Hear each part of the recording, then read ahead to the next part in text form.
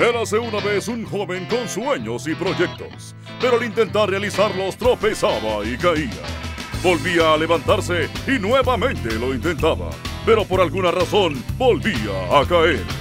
Un día decidió hacer el viaje más emocionante de toda su vida.